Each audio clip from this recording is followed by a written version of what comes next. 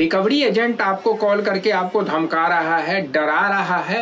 आपको कह रहा है कि आज अगर पेमेंट नहीं करेंगे तो आपके घर पे हम आके बैठ जाएँगे, लीगल एक्शन करेंगे, आपका लोन एनपीए कर देंगे।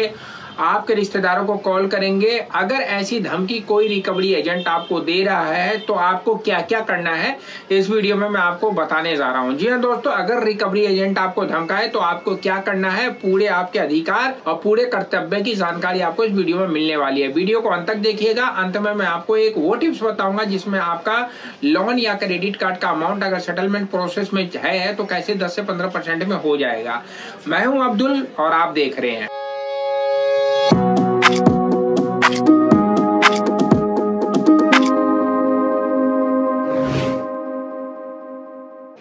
स्वागत है आपका एक नए वीडियो में और आज की टॉपिक आप लोगों के लिए रखी है कि अगर लोन रिकवरी एजेंट आपको कॉल पे धमका रहा है, घर आके धमका रहा है अड़ोसी पड़ोसी को आपकी बातें बता रहा है तो आपको क्या करना है?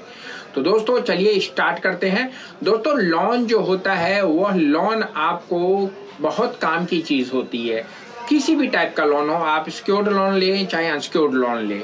अब अनसिक्योर्ड लोन में दो चीज़ें होती है, या तो बिज़नेस लोन पर्सनल लोन या क्रेडिट कार्ड क्रेडिट कार्ड आपको बहुत सारे एडवांटेज देता है पर्सनल लोन आपके बहुत काम का होता है।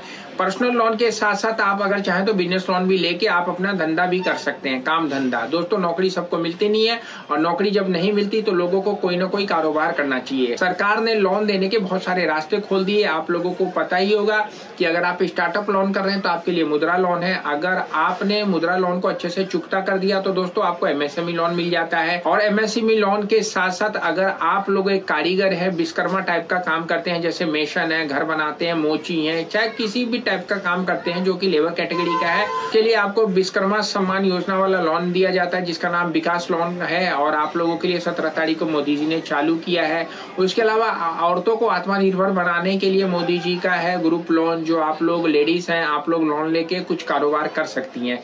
तो लोन आपके लिए बड़ा प्रोडक्टिविटी होता है, आप उसको लेके कुछ ना कुछ काम कर सकते हैं। इन सब की इन्फॉर्मेशन के लिए मैंने ऑलरेडी वीडियोस बना रखी है, आप जाके देख सकते हैं प्ले जो दिख रहा है डिस्क्रिप्शन में इसका लिंक मिल जाएगा। इसके अलावा दोस्तों क्रेडिट कार्ड वो भी एक अनसिक्योर्ड लोन होता है, जैसे कि आपको अलग अलग बैंक अलग अलग सेगमेंट में अलग अलग क्रेडिट कार्ड देते हैं। इंडिया में बहुत सारे बैंकों के क्रेडिट कार्ड है, जैसे मोस्ट ऑफ़ जो अच्छे कार्ड है, वो स्टेट बैंक ऑफ़ इंडिया के और एच बैंक के हैं, जो आपको देते हैं ग्रोसरी डाइनिंग मूवी ट्रेवलर सारे टाइप के क्रेडिट कार्ड देते हैं, सब में एडवांटेज देते हैं। आप उन कार्ड को यूज़ करके अप टू फाइव परसेंट तक कैशबैक ले सकते हैं। आप लोगों को कार्ड के रिव्यू के बारे में नहीं मालूम है तो ये प्ले लिस्ट है, जाके देखिए डिस्क्रिप्शन में लिंक है। लेकिन दोस्तों, क्या होता है ना कि हमारे साथ जो होना होता है, वो होके रहता है। कभी सरकार के वादों के मुकाबले, कभी समय एक ऐसा हो जाता है, कोविड काल जैसा, जिसमें हमारी बहुत सारी चीज़ों की परेशानियाँ आ जाती है। तो इसमें क्या होता है कि हम लोग बिना देखे क्रेडिट कार्ड और पर्सनल लोन को हम लोग अपने जीवन यापन के लिए खर्च कर लेते हैं और हम लोग डेट ट्रैप में फंस जाते हैं, क्योंकि ना तो हमारे पास जॉब होती है न कर्जा चुकाने के लिए पैसा। तो ऐसे सिचुएशन में अगर आप लोग पिछले दिनों फंसे हैं। जैसे कि तीन साल पहले कोविड कॉल हुआ उससे पहले नोटबंदी जीएसटी हुआ तो लोगों को परेशानी हुई है। इसमें क्या हुआ? लोगों ने बैंकों के पैसे देने चाहे, लेकिन बैंकों ने उन पैसों को मोरेटोरियम करके इतना ब्याज लगा दिया कि लोग चाह के भी उन पैसों को पे नहीं कर पा रहे हैं। और आफ्टर कोविड लोगों को बहुत सारे लोगों ने फ्रॉड कर लिया चीट कर लिया, और लोगों के लालच, जैसे जुआ, सट्टा ड्रीम इलेवन टाइप का हो गया, जंगली रमी हो गया, और शेयर मार्केट इनमें लोगों ने बिना सोचे समझे पैसे लगा दिए और फंस गए। उन पैसों को उन्होंने शेयर मार्केट में डुबो दिया फ्रॉड के चक्कर में उनके पैसे चले गए। तो इन लोगों के लिए बहुत बुरे सिचुएशन जो अभी चल रहे हैं, वो फेस कर रहे हैं। कभी कभी इस टेंशन में वो लोग सुसाइड करने की सोच लेते हैं, जो कि गलत होता है। ऑलरेडी मैंने वीडियो बनाया था कि आप लोगों को लोन का पेमेंट करना सुसाइड नहीं करना, जाके देखिएगा। तो दोस्तों, अगर मान लीजिए आप लोग ट्रैप में फंसे किसी भी वजह से क्रेडिट कार्ड या पर्सनल लोन के तो इसमें रिकवरी कॉल का बहुत बड़ा योगदान होता है आपसे पैसे लेने का। क्योंकि दोस्तों, देखिए बैंक तो आपके घर आएगा नहीं पैसे लेने के लिए। जब वो आपको पैसे भी देता है तो आपको पता है ना कि लोन देने वाला भी बंदा कोई ना कोई एजेंट होता है, चाहे बैंक के बाहर मिले, चाहे बैंक के अंदर मिले। वो आपको लोन फटाफट दिलवा देता है। दोस्तों, हम लोग भी लोन का काम करते हैं ऑल इंडिया में। Personal loan home loan credit card जिस टाइप का भी लोन आपको लेना है, आप हमारे माध्यम से ले सकते हैं। अगर आपको लोन की रिक्वायरमेंट है, इस व्हाट्सएप पे आइए। आप अपने बारे में थोड़ा इन्फॉर्मेशन दीजिए और हम आपको बताएँगे कि आपको कम रेट ऑफ़ इंटरेस्ट पर कैसे लोन मिल जाएगा। फुल आपको सर्विस मिलेगी घर बैठे। तो दोस्तों, क्या होता है? लोन लेने के बाद या क्रेडिट कार्ड लेने के बाद बंदे के पास अगर परेशानी हो जाती तो रिकवरी एजेंट उनको और हरेस करते हैं, क्योंकि बकेट सिस्टम में उनका केस चलता है। First bucket second bucket third bucket से लेकर सिक्स बकेट और बीच में एनपीए हो जाता है। एनपीए दोस्तों नॉन परफॉर्मिंग एसेट यानी कि आप जो पैसा बैंक से लिया है, उस पर ब्याज नहीं दे रहे तो बैंक की इनकम बंद हो जाती है। तो दोस्तों, इस बिटवीन वो आपको पहले तो बहुत बैटली बात करते हैं कि सर आपको पैसा देना दे दीजिए। और दूसरे महीने में आपसे गाली गलोच होता है। इन सब चीज़ों पर विस्तार से आप लोगों के लिए वीडियो बना रखा है। आप लोग आई बटन में जाके देख सकते हैं। तो दोस्तों, अगर रिकवरी वाला आपको घर पे कॉल करता है, या आपके रिश्तेदारों को कॉल करता है तो आपका ये भी सवाल होता है कि मेरे रिश्तेदारों को रिकवरी वाले कहाँ से कॉल कर देते हैं? उनके पास नंबर कहाँ से आता है? तो दोस्तों, आपके रिश्तेदारों को जब रिकवरी वाले कॉल करते हैं, उनके पास जो नंबर आता है, वो आपकी वजह से ही आता है। शायद आपको पता नहीं होता कि आप जब भी कोई भी लोन ऐप या कोई भी ऐप डाउनलोड करते हैं तो आप अपना एक्सेस उस कंपनी को दे देते हैं। इसी प्रकार आप आजकल कोई भी लोन अगर आप अप्लाई करते हैं तो अब जो है ना, हर लोन कंपनी के ऐप हो गए हैं और उन लोन ऐप के माध्यम से जब आप उनको अपना एक्सेस दे देते हैं तो वो पेमेंट न करने पर आपके एक्सेस के जितने भी नंबर होते हैं, उनको कॉल करके आपकी बातें बताते हैं, जो कि सरासर गलत होती है। तो दोस्तों, अगर आपके घर पे कोई रिकवरी एजेंट आके बैठ जाता है, गाली गलोच करता है, रिश्तेदारों को फ़ोन करता है, या फिर गली मोहल्ले में आके शोर मचाता है तो यह रिकवरी के खिलाफ एक्शन होता है। यह आरबीआई की गाइडलाइन के बिल्कुल खिलाफ है। आप चाहे तो उनके खिलाफ लीगल एक्शन लेके उनको अंदर भी करवा सकते हैं। जी हाँ दोस्तों, बिल्कुल, अगर अगर रिकवरी वाला कोई बंदा आपके घर आ गया है, गाली गलोच कर रहा है फ़ोन पे गाली दे के धमका के फिर आपके घर पे आके सीना चौड़ी करके आपसे पैसे मांग रहा है तो आप उसको पुलिस के अंदर करवा सकते हैं। दोस्तों, इसका कारण रिज़र्व बैंक ऑफ़ इंडिया ने आप लोगों के लिए फ्री फेयर प्रैक्टिस के रूल्स बना रखे हैं और आईबीएस इंडियन बैंकिंग सिस्टम उसके लिए डीआरए का कोर्स करा के उनको, उन सारी चीज़ों की ट्रेनिंग देता, फिर उनका पेपर लेता, फिर उनको लाइसेंस देता और उसमें सारी चीज़ें समझाई जाती है कि आपको कस्टमर से कैसे बात करना है कस्टमर के पास किस टाइम विज़िट करना है कस्टमर की अगर प्रॉब्लम है तो उसका सोल्यूशन कैसे देना है और कस्टमर से कैसे बातें करनी है। लेकिन ये लोग सारे नियम कानून को ताक पे रख के रिकवरी करते हैं। रिकवरी वो इसलिए तगड़ी वाली करते हैं कि उनको दोस्तों पंद्रह से बीस परसेंट का कमीशन मिलता है। इसलिए वो अपनी जी जान लगा के सारे नियम कानून को धक्का बता के वो लोग रिकवरी करते हैं। तो दोस्तों नियम कानून यही कहता है कि ना तो वो आपको कॉल कर सकते हैं अन टाइम बिना आपके अपॉइंटमेंट के आपके पास घर पे भी नहीं आ सकते हैं और आपको कॉल करने का टाइम उनका सुबह सात से लेकर शाम के सात बजे तक का है। आपके अलावा आपकी बातों को किसी को शेयर नहीं कर सकते। प्राइवेसी एक्ट के अंतर्गत और अगर वो ऐसा कर रहे हैं तो आप उनके खिलाफ प्राइवेसी एक्ट के अंतर्गत आप उनके ऊपर भी एक्शन ले सकते हैं। तो दोस्तों, इसमें भारतीय रिज़र्व बैंक ऑफ़ इंडिया ने आईबीएस के माध्यम से एक चीज़ और बता रखी है, खाते की गोपनीयता। खाते की गोपनीयता बनाए रखने की बाध्यता, यह एक टर्म होता है जो आईबीएस के माध्यम से बैंक और आपके बीच एक रेगुलेशन होता है। यह अत्यंत महत्वपूर्ण है कि बैंक यह सुनिश्चित करे कि ग्राहक के सभी बैंकिंग रिकॉर्ड सुरक्षित है और ग्राहक की सहमति से किसी अन्य पार्टी या संगठन को उपलब्ध नहीं है। बैंकिंग कंपनी अधिनियम 1970 की धारा 13 विशेष रूप से उनसे अपेक्षा करती है कि बैंकर के बीच परिचित प्रचलित प्रथाओं और उपयोगों का कानून द्वारा अन्यथा अपेक्षित को छोड़कर निरीक्षण करे और विशेष रूप से मामलों से संबंधित किसी भी जानकारी का खुलासा न करे। घटकों की उन परिस्थितियों को छोड़कर जिनमें वे कानून या प्रथाओं के उपयोग के अनुसार या उनके लिए ऐसी जानकारी प्रकट करना उचित है, जैसा कि कानून कहता है। ऐसी परिस्थितियाँ होती हैं जहाँ किसी के खाते के विवरण तक पहुँचने के प्रावधान होते हैं। ठीक है दोस्तों, कानून द्वारा आवश्यक जानकारी का खुलासा एक बैंकर अपने ग्राहक के खाते से संबंधित जानकारी का खुलासा करने के लिए वैधानिक दायित्व के तहत है, जब कानून के अनुसार ऐसा करने की विशेष आवश्यकता होती है।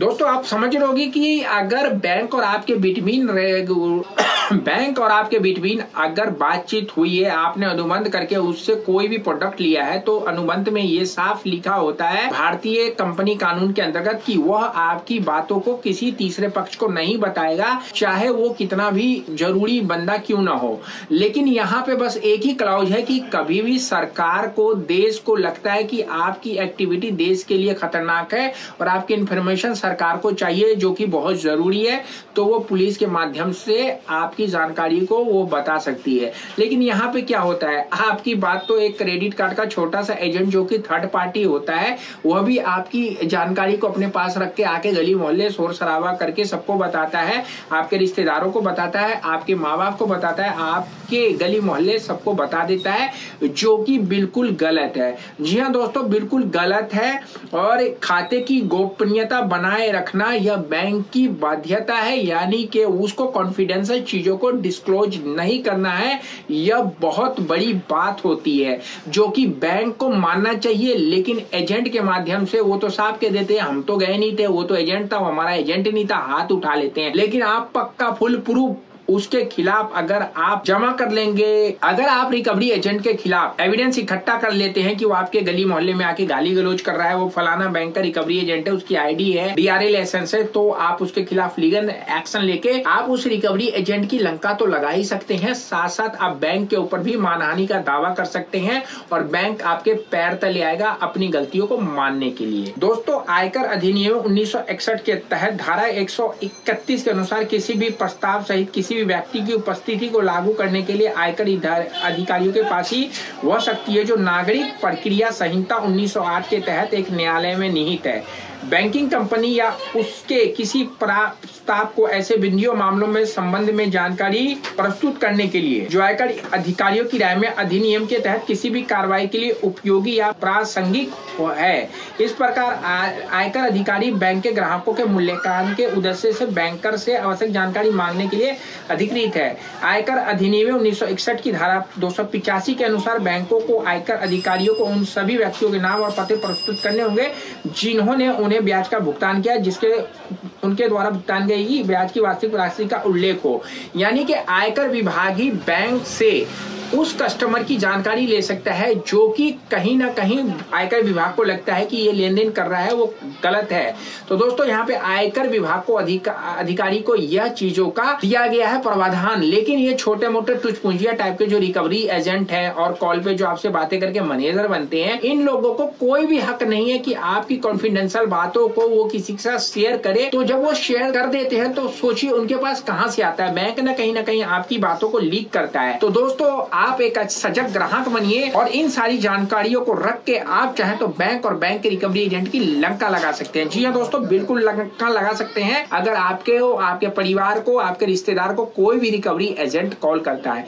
आपको पता है इस बात का कि जो मिडिल क्लास लोग हैं, कम पढ़ी लिखे हैं, उन लोगों को इनकी जानकारी नहीं होती और सबसे ज़्यादा उन लोगों को ही बैंक वाले कॉल करते हैं। लेकिन बड़े बड़े लोग बड़े बड़े जो लोग होते हैं बड़े बड़े मालिक, मिलों के मालिक हो गए, नेतागण हो गए बड़े बड़े लोगों को क्यों नहीं कोई रिकवरी एजेंट परेशान करता है? क्यों नहीं कोई बैंक वाला घर पे जाके उसके बैठता है? उसका कारण, दोस्तों, उसको पता है कि अगर ये लोग मेरे पे लीगल एक्शन लेंगे तो मेरा बैंक बंद हो सकता है लाइसेंस निरस्त हो सकता है। तो दोस्तों, अपने आप को जागरूक बनिए, जागरूक ग्राहक बनिए, अपने अधिकारों को जानिए और अपने अधिकारों को जान के देखिए। अगर आपने बैंक से पैसे लिए तो देना आपका कर्तव्य है, लेकिन कोई प्रॉब्लम हो जाती तो ये आपका अधिकार बन जाता है कि वो आपको ड्राई धमकाए थ्रेट करके, परेशान करके आपसे ज़ोर ज़बरदस्ती न करे, आपकी कॉन्फिडेंशियल बातों को, आपके रिश्तेदारों को न कहे, ये सब गलत होता है और गलत के खिलाफ सरकार आपके साथ है। तो दोस्तों, नियम कानून तो बहुत सारे हैं, आप इन नियम कानूनों को आराम आराम से पढ़ सकते हैं, ठीक है ना? बैंकिंग विनिमय अधिनियम उन्नीस सौ उनचास के तहत, धारा 26 के तहत प्रत्येक बैंकिंग कंपनी को भारत में ऐसे सभी खातों का सालाना रिटर्न जमा कराने की आवश्यकता थी जो दो वर्षों से एनपीए मतलब संचालित नहीं है, बैंकों को ऐसे प्रत्येक खाते में जमा राशि का विवरण देना आवश्यक है। ये सारी चीज़ें बैंकिंग लॉ के अनुरूप है। और दोस्तों रूल रेगुलेशन इतने हैं कि आप पढ़ते पढ़ते परेशान हो जाएँगे, लेकिन आप इनको आराम आराम से पढ़ लीजिए। ये सारी चीज़ें जो आपके सामने डिस्प्ले पे चल रही है इससे आपको बहुत फ़ायदा मिलने वाला है। बैंकर अपने ग्राहक के खाते से संबंधित किसी भी जानकारी का उचित रूप से खुलासा कर सकता है, जब जनता के प्रति ऐसी जानकारी का खुलासा करना उसका कर्तव्य है। जी हाँ दोस्तों, जनता को अगर, यानी कि पूरी पब्लिक को आपकी चीज़ों से इंटरेस्ट है, कोई फ़ायदा होगा, सरकार को तो आपके बारे में बैंक इंफॉर्मेशन दे सकता है। लेकिन ये रूल बिल्कुल नहीं है कि आपके खिलाफ, आपके गली मोहल्ले वालों को बिना बताए, आपकी इमेज को गलत बताए, और वो वजह कुछ कुछ भी हो सकता है, लेकिन अगर ऐसा बताया जा रहा है तो सरासर गलत है और गलत के साथ सरकार आपके साथ है, कानून के हिसाब से चलेंगे। ठीक है ना? जब किसी बैंक ने किसी अपराध के संबंध में किसी सरकारी अधिकारी से जानकारी मांगी हो और बैंक के पास यह विश्वास करने का उचित कारण है कि अपराध हुआ है और बैंक के पास मौजूद जानकारी से अपराधी को पकड़ा जा सकता है, तब बैंक कर को खुलासा करना ज़रूरी हो जाता है। लेकिन आप कौन से अपराधी हैं? आपने कौन सा अपराध कर दिया? आपने क्रेडिट कार्ड यूज़ किया, पर्सनल लोन यूज़ किया, उसका टाइम पे बस आपसे पेमेंट नहीं हो पा रहा है तो आप बहुत बड़े अपराधी तो नहीं हुए।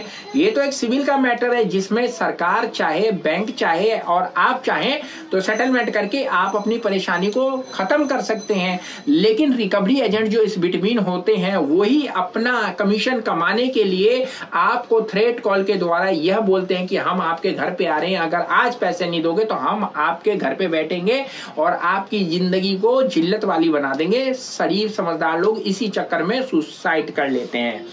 जहाँ बैंक मानता है कि ग्राहक देश के हितों के प्रतिकूल गतिविधियों में शामिल है।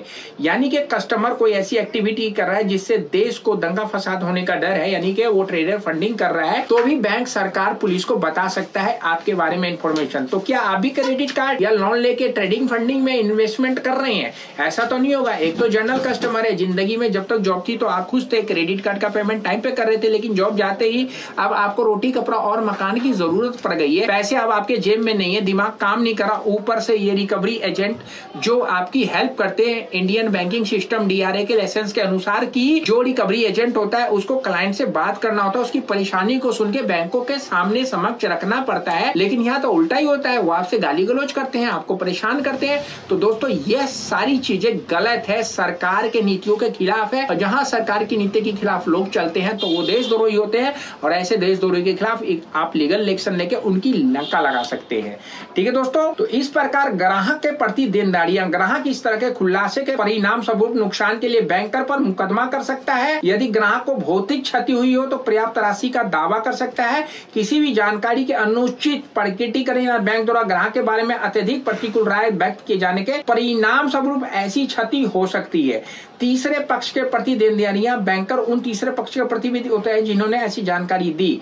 यदि बैंकर इसकी जानकारी ऐसे के साथ साथ की वह झूठी है और ऐसी पार्टी सूचना पर भरोसा तो नुकसान उठाती है। जी हाँ दोस्तों, यहाँ पे यह भी नियम कानून है कि अगर किसी थर्ड पार्टी ने आपकी इज़्ज़त पे बट्टा लगाया, आपके प्रति उन्होंने कोई दुर्भावना से लोगों को बताया, बरगलाया तो आप लीगल एक्शन ले सकते हैं और बैंक के ऊपर भी लीगल एक्शन ले सकते हैं और थर्ड पार्टी वाले एजेंट पे भी आप लेकर उनकी लंका लगा सकते हैं। दोस्तों, आप अगर चाहें तो इन सब चीज़ों को ठीक कर लीजिए। अगर आप ट्रैप में फंसे, पैसे कमा के बैंकों को दे दीजिए। लेकिन आप सामाजिक प्रतिष्ठा को क्षति हुई है, आपकी आर्थिक प्रतिष्ठा को क्षति हुई है, आपको मेंटली हरेसमेंट हुआ है इन रिकवरी एजेंट की वजह से तो दोस्तों, इनके खिलाफ लीगल एक्शन लेना आपका अधिकार है और आप कानूनी रूप से इनके खिलाफ एक्शन लेके आप अपने चीज़ों को सेटलमेंट भी कर सकते हैं और मानहानि का दावा करके इनकी जॉब भी ले सकते हैं और बैंकों को भी कोर्ट तक घसीट सकते हैं। लेकिन आप अगर ईमानदार, समझदार हैं तो सबसे पहले आप बैंकों से पैसे जो लिए आप उनको दीजिए और अगर कोई रियली में परेशानी है और तो आप सेटलमेंट के प्रोसेस में जाके सेटलमेंट कर लीजिए। अगर फिर भी उस प्रोसेस में ये लोग आपको डरा रहे, धमका रहे हैं तो आप लीगल एक्शन लेकर उनकी लंका लग रहा है। आशा करता हूँ इस वीडियो में जो मैंने आपको बताया कि रिकवरी एजेंट अगर आपके घर पे बैठे हैं आके डरा रहे हैं, धमका रहे हैं तो आपके क्या कानूनी कर्तव्य है? सारे पहलुओं को हमने स्टेप बाय स्टेप आपको बताया, समझाया तो आप समझ के नेक्स्ट टाइम अगर कोई रिकवरी एजेंट आपके को बोलता है कि मैं घर पे आ रहा हूँ, सारे रिश्तेदारों को कॉल करूँगा तो आप उनको बोलो, आ, और तेरे में दम है तो ये करके दिखा। तो दोस्तों चैनल पे नए थे तो चैनल को कर दीजिए सब्सक्राइब बेल बटन दबा के जाइएगा कि हमारी वीडियो सबसे पहले आए। फेसबुक पे इस वीडियो को देख रहे तो फॉलो करना नहीं भूलिएगा। वीडियो को लाइक करिए कमेंट्स करिए शेयर करना नहीं भूलिएगा। और दोस्तों, हमारी वेबसाइट www.hktips.com विज़िट करिए ब्लॉग पढ़िए ब्लॉग मिलेगा वो जो आपके काम का हो। फंसे हैं क्रेडिट कार्ड के ट्रैप में, निकलने में दिक्कत हो रही है, आप हमसे सलाह मशवरा करके भी आप उससे बाहर निकल सकते हैं। बड़ा आसान है। आइए व्हाट्सएप में मिलते हैं फिर नेक्स्ट टाइम सी यू